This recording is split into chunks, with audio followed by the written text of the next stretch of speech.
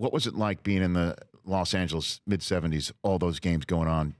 You know, uh, the celebrities that would be going through. Uh, It was like time. Sinatra going through Lasorda's and, office. You know, right? once Tommy, I mean, it was it was it was really special, and then Lasorda came, and it was a whole new level of of Hollywood and celebrity. And Danny Kaye would come in with his little slippers and do a dance, and and Rickles would come by, and and he would say something about each guy and make you belly laugh, and he'd get to me, and he says, "I can't say anything. You're my son's favorite player."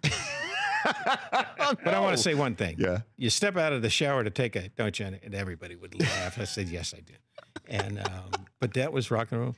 Quick, Sinatra said he would Please. do the national anthem for Lasorda if he ever became manager on opening day.